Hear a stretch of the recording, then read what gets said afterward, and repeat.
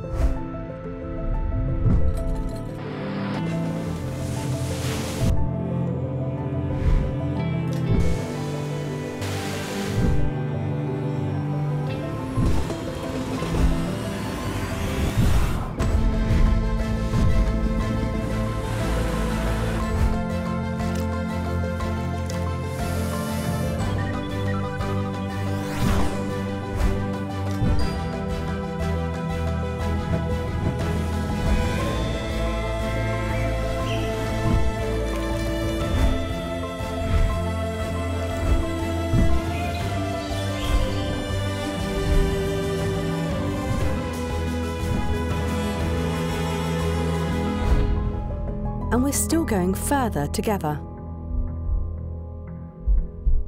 For us, for the planet, for the future.